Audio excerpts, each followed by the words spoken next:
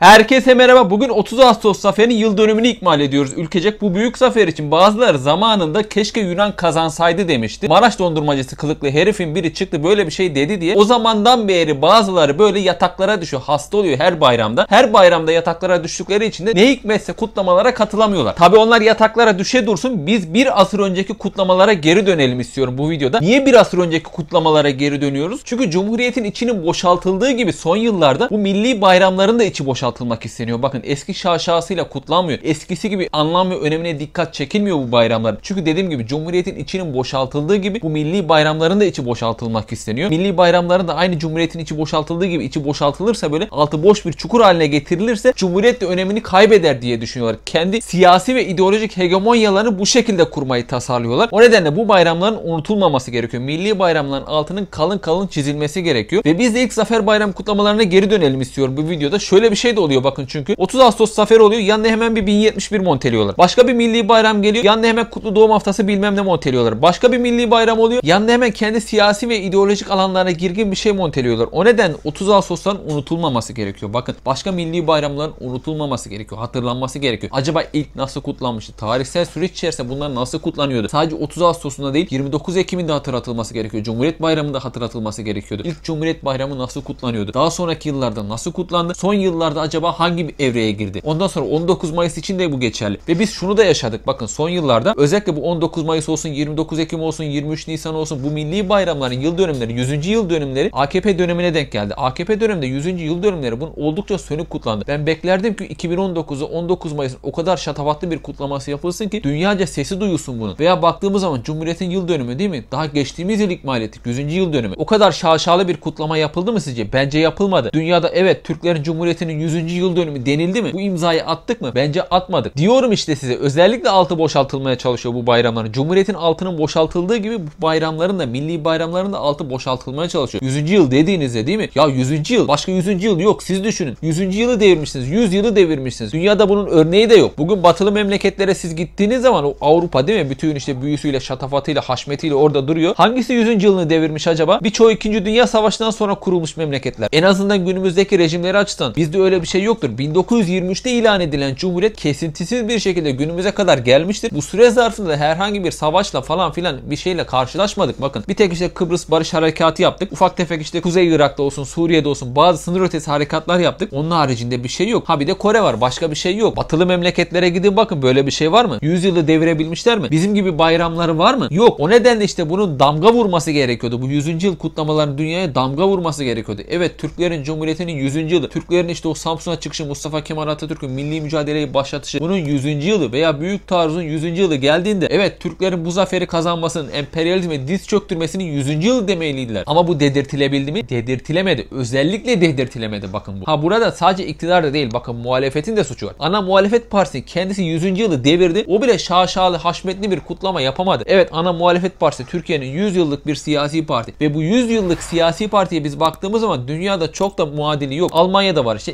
İngiltere'de işçi partisi var. Almanya'daki de sosyal demokratlardır. Bir de zannediyorum Fransa'da bir örneği var. Onun haricinde biz baktığımız zaman Cumhuriyet Halk Partisi'nin ana muhalefet partisinin muadili olabilecek şekilde 100 yılı devirmiş parti dünyada kaç tane var? Ha Amerika'yı çok saymıyorum çünkü onlar parti disiplini falan bizdekilerden farklıdır. Cumhuriyetçiler ve demokratlar olarak parti disiplinleri bize uymaz onlar. Orada çünkü bir milletvekili olarak partiye girebiliyorsunuz. Milletvekili seçilebiliyorsunuz. Veya senatörün artık neyse seçilebiliyorsunuz. Ama parti disiplininden farklı bir şekilde hareket edebiliyorsunuz. Yani parti içinde parti gibi bir nevi hareket edebiliyorsunuz. Bizdeki parti disiplini daha farklı olduğu için onları çok aynı kefeye koymuyorum. Bizimki daha çok ta Avrupası ile bir benzeşim gösterir. O nedenle işte Almanya, İngiltere ve Fransa'dan örnekler veriyorum size. Yani demek istedim siyasi iktidar bugünkü evet bunların altını boşaltmaya çalışıyor. içini oymaya çalışıyor. Ama muhalefet partisine baktığımız zaman daha kendi tarihine sahip çıkmıyor. O da kendi 100. yılın sıradan bir yıl dönümüymüş gibi kutladı. Ana muhalefet partisi takdir edersiniz ki bunu yaparsa iktidar ne yapmasın değil mi? O nedenle işte bu bayramları unutmamamız gerekiyor. İlk bayramlar nasıl kutlanmıştı? Bir festinin çıkıp dediği gibi işte keşke Yunan kazansaydı diyor. Ondan sonra bütün bir millet topyekun gidiyor. Her bayram hasta oluyor. Mustafa Kemal Atatürk'e bu cumhuriyeti kuranlara, cumhuriyetin kurucu elitine tırnak içerisinde sövmek kendisine bir meziyet edilmiş insanlar var bu memlekette. Ağzını açınca da din falan lafları ediyorlar. E din elden gitti. Ya keşke Yunan kazansaydı diyorsunuz ya. Yunan kazansaydı din elden gitmemiş mi olacaktı? Hani bayrak, ezan falan muhabbet yapıyor ya bunlar sürekli. Keşke Yunan kazansaydı acaba o ezanlar okunur muydu? İlla ezan parantezine sıkıştıracaksak bu meseleyi. Ona bir baz almak lazım değil mi? O nedenle işte diyorum ilk Zafer Bayramı kutlaması önemli. İlk Zafer Bayramı'ndan sonraki Zafer Bayramı kutlamaları önemli. Biraz hatırlamak lazım, biraz da hatırlatmak lazım insanlara. Biz milli mücadele dönemine baktığımızda kabaca 1919'dan 1923'e kadar yani Cumhuriyet'in ilanına kadar ki geçen süreçte bütün önemli siyasi ve askeri başarılar zaten Cumhuriyet'in kurucu elisi tarafından bayrama çevrilmiş durumda. 19 Mayıs değil mi? 19 Mayıs nedir özünde? Mustafa Kemal Atatürk'ün Samsun'a çıkışıdır. Yani milli mücadelenin işaret fişeğin atıldığı tarihtir. Öte yandan bakıyoruz mesela bugünkü Zafer Bayramı değil mi? Milli mücadelenin kesin zaferle sonuçlandığı gündür. Cumhuriyetin ilanı veya Türkiye Büyük Millet Meclisi'nin açılması 23 Nisan 1920. O da çok önemli bir siyasi zaferdir. Çünkü egemenlik ilk defa milletin olan işte o egemenlik ilk defa Tanrı katından alınmış. Çünkü padişah kendisini Tanrı'nın temsilcisi olarak görüyor. Zillullah olarak görüyor. Öncesinde bazen diyorlar ya böyle e işte TBMM'den önce meclis yok muydu? Bize işte bunu tarih derslerinde öğretmediler, göstermediler. Evet vardı meclis yok değildi. Ta Tanzimat'a kadar, belediye meclislerine kadar geri gider bu durum. Fakat o meclislerin üstünde ikinci meşruiyet döneminde açılan işte parlamentonun üstünde veya önceki meclislerin üstünde işte padişahın gölgesi vardı. Padişah da bu yetkiyi Tanrı'dan aldığını düşünüyordu. Şimdi Cumhuriyet'ten sonra daha doğrusu Türkiye Büyük Millet Meclisi açıldıktan sonra 23 Nisan 1920'de biz işte ilk defa padişahın yani Tanrı'nın katından alarak egemenliği doğrudan doğruya millete verdik. Bunu da milletin kendisi yaptı. Biz hep diyoruz tepeden inme bir şekilde gerçekleşti diye bu aslında ama şöyle de bir şey var bakın atlanıyor. Türkiye Büyük Millet Meclisi'nin kurulmasına vesile olan şey aslında Anadolu'da milli mücadele öncesinde toplanan kongrelerdir. Direniş amacıyla oluşmuş kongrelerdir. Sivas Kongresi'dir, Erzurum Kongresi'dir, daha küçük ölçekli kongrelerdir. Yerel ölçekli, bölgesel ölçekli başka kongreler de vardır. O kongrelerden çıkan sonuçtan mütevellit Türkiye Büyük Millet Meclisi oluşmuştur. Bu zaten Sivas Kongresi'ne alınan bir karar gereği oluşturulmuştur. Bu ne demek? Bu kongreler nasıl oluştu? Yereldeki dinamiklerden neşet etti değil mi? Yerelde çünkü bir direniş hazırlığı vardı. Bu direnişin de ancak ve ancak bir parlamento aracılığıyla yapılabileceği düşünülüyordu ve bölgesel ölçekli, yerel ölçekli bazı kongreler oluştu. Bu kongrelere baktığımız zaman aynı parlamento gibi işlev gösteriyor. Vergi topluyor, askere alıyor, savaş ilan ediyor. Aynı parlamento gibi hareket ediyor değil mi? Hatta tutanakları tutuluyor. Aynı parlamentolarda olduğu gibi, modern parlamentolarda olduğu gibi ve burada yerel halktan, eşraftan gelen insanlar var. Bu karar alma süreçlerine doğrudan doğruya katılıyorlar, askere gidiyorlar, vergi topluyorlar. Yani bir parlamento gibi bulundukları işte yerel ölçekli bir parlamento gibi çalışıyorlar. Yerel ölçekli bir hükümet gibi çalışıyorlar. Burada şu denilebilir. Aşağıdan yukarı bir şekilde bir oluşum neticesinde bu parlamento tipi yapılar oluşmuş. Bu parlamento tipi yapılar en son Türkiye Büyük Millet Meclisi'ni oluşturmuştur denilebilir. Yani burada aşağıdan yukarı bir dinamik söz konusu. Yukarıdan tepeden indirilen bir şey değil. Türkiye Büyük Millet Meclisi doğrudan doğruya tabandan oluşumdan neşet etmiş bir şeydir. Ha burada tabi kurucu elitin bir dahli vardır. Onun yol göstericiliği, kılavuzu vardır. Bu inkar edilemez. Ancak yereldeki ihtiyaç da ortada. Ki yerelde oluşan bu dinamik daha Mustafa Kemal Atatürk Samsun'a ayak basmadan önce ortaya çıkmıştı. Erzurum Kongresi dahi Mustafa Kemal Atatürk'ün katıldığı Mustafa Kemal Atatürk'ün dahli neticesinde toplanmamıştır. Zaten bir oluşum sürecine girmiştir. Kaldı ki Erzurum Kongresi'nden önce 30'a yakın başka kongrede toplanıyor Anadolu'da.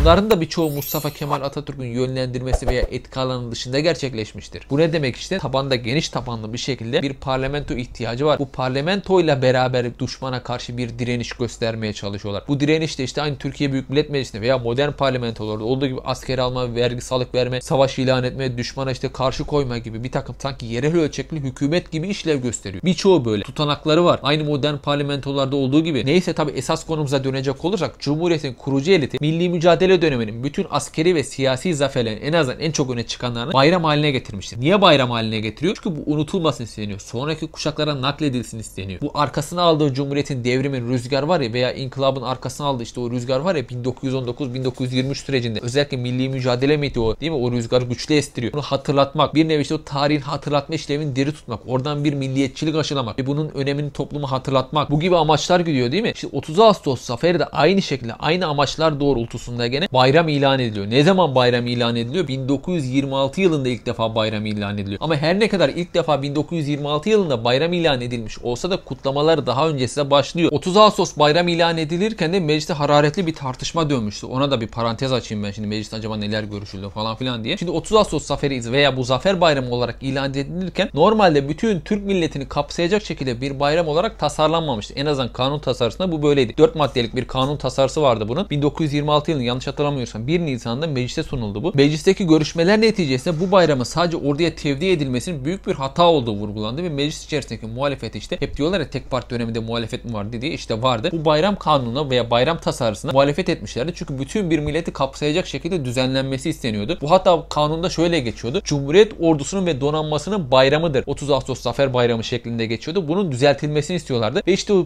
Parlamentodaki muhalefetin istediği şeklinde bu düzeltildi ve bütün Türk milletini kapsayacak şekilde bir bayram olarak hazırlandı. Tasarı bu şekilde sunuldu ve bu şekilde geçti. 4 maddelik tasarı Cumhuriyet ordusunun ve donanmasının bayramı şeklinde değil, bütün Türk milletini kapsayacak bir bayram şeklinde kabul edildi. Bu kabulden sonra da zaten Recep Peker'e sunuldu ilgili tasarı. Recep Peker hazırladığı bir nizamname çerçevesi bütün Cumhuriyet dönemi boyunca bu nizamname çerçevesinde kutlamalar yapıldı. Bu nizamnamede gene 4-5 maddelik bir şeydi. Önce askeriyeye gidilir. Askeri kışa da bir tören düzenlenir. Daha sonra resmi geçit törenleri yapılır gibi bazı maddeler yer alıyordu. İşte en sonunda resmi geçit törenleri, kutlamalar, festivaller, çeşitli etkinlikler, işte öğrencilerin sokaklarda dolaşması vesaire gibi etkinlikler yer alıyordu. Bunlar da düzenli bir şekilde Cumhuriyet dönemi boyunca Cumhuriyet döneminden Kasım 1938'e kadar süreci söz ediyorum. Recep Peker'in hazırladığı nizamname çerçevesinde gerçekleşen bu şekilde yapıldı. Peki esas konumuza dönecek olursak ilk Zafer Bayramı kutlaması nasıl yapıldı? Şimdi dedik ya 1926'da bu yasalaştı. Fakat daha öncesi kutlamalar vardı. İlk kutlama 1923 yılında. Bu resmi bir kutlama değil tabii ki de. Resmi kutlama 1926'dan sonraki yıllarda düzenli olarak yapılacak. Fakat 1923'te yani 1922'de kazanıldı ya zaten bu zafer. İlk yıl dönümü ne zaman? 1923 yılı. Fakat Cumhuriyet henüz ilan edilmemiş. Cumhuriyet 29 Ekim 1923'te ilan edilecek. Biz baktığımız zaman 30 Ağustos zaferi Cumhuriyet'in ilanının öncesine denk geliyor. Fakat henüz Cumhuriyet ilan edilmemiş olsa da her ne kadar bir bayram olarak resmileşmemiş olsa da küçük çaplı müstakil organizasyonlarla kutlamalar yapılıyor. Mesela işte cadde ve sokaklara bayraklar asılıyor. Gazeteler anma yazıları yazıyor. Bu zafer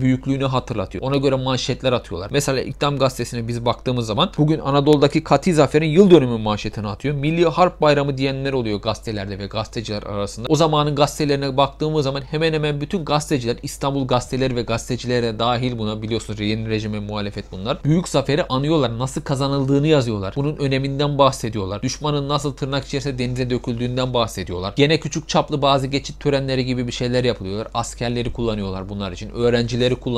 Ama 1924 yılına gelindiğinde işte ilk resmi tören yapılıyor. 1926'da dediğim gibi bu bir resmi bayram halini alıyor. Fakat 1924 yılında Cumhuriyet'in ilan edilmesinin hemen ertesi yılı ilk resmi tören yapılıyor ve bu ilk resmi törene Mustafa Kemal Atatürk de katılıyor. Bakın ilk resmi tören zaten Dumlupınar'da yapılıyor. İşte o kesin zaferin kazanıldığı yer değil mi? Çalköy'ü. Mustafa Kemal Atatürk oraya gidiyor. Trenle hareket ediyor Ankara'dan ve Atatürk'ün harekatı esasında tren nerede dursa özellikle Eskişehir'de halk Atatürk'ü selamlıyor, karşılıyor. Atatürk her gittiği yerde demeçler veriyor. Hatta Mustafa Kemal Atatürk Dumlupınar'a varmadan önce tabi yerel halkın orada bir organizasyondan haberi oluyor. Afyonkarahisar Belediyesi de bununla ilgili bazı hazırlıklar yapıyor ve yerel halktan gelenler oluyor orada çadırlar falan kuruyorlar. Orada kalıyorlar. Atatürk'ü karşılıyorlar. Hatta hem Afyon'dan hem de Konya'dan hatta İzmir'den gelenler oluyor. Mustafa Kemal Atatürk orada görmek için ve bu anma etkinliklerine katılmak için oraya gelenler oluyor. Çadırlar kurup orada kalıyorlar. Çok sayıda kişi geliyor ve bunlar kendi inisiyatifiyle geliyor. Öyle taşıma adam falan değil. Şimdi böyle mitinglere her yerden adam götürüyorlar ya. Öğrencileri gelin sizi konsere götüreceğiz deyip de böyle mitinglere götürüyorlar ya iktidar partisinin. Bu sefer öyle değil yani. Kendi inisiyatifi doğrultusunda geliyor insanlar ve bu anma etkinliklerine, törenlere katılıyor. Zaten bunlar hem anma ve tören etkinliği olarak yapılıyor. Aynı zamanda kutlama olarak da yapılıyor. Anmadan kastım ne? Şehitler anılıyor. Öbür taraftan da büyük zafer kutlanıyor. Dumlupınar'daki törende de ilk Fevzi Çakmak konuşuyor. Fevzi Çakmak dönemin Genelkurmay Başkanı. Aynı zamanda da Milli Mücadele'nin çekirdek kadrosundan birisi. Fakat buraya bir parantez açayım Fevzi Çakmak'la ilgili. Mustafa Kemal Atatürk'ün Kocatepe'den başlattığı büyük taarruz planına şert düşen isimlerden bir tanesidir. Fevzi Çakmak. Biliyorsunuz Mustafa Kemal Atatürk Yunan ordusu en güçlü olduğu noktadan vurarak oradan 160 küsür tane topla birlikte böyle topçuyla birlikte vurarak döverek orayı cepheyi yarma harekatı planlamıştır bir. Ve başarılı da olmuştur bu. Fevzi Çakmak buna karşı çıkıyor. Delilik bu diyor. Düşmanın en güçlü olduğu yerden vurulur mu diyor. Bu sahne hatta Turgut Özakman'ın bir kurtuluş dizisi vardır ya orada da çok güzel bir şekilde işlenmiştir. Tavsiye ederim izleyebilirsiniz. Gerçeklerle büyük oranda zaten örtüşen bir dizidir. Herhalde benim tahminimce gördüğüm kadarıyla bir tek Mustafa Kemal Atatürk'ün bir Kocatepe'ye çıkış sahnesi vardır. O birazcık böyle gerçeğe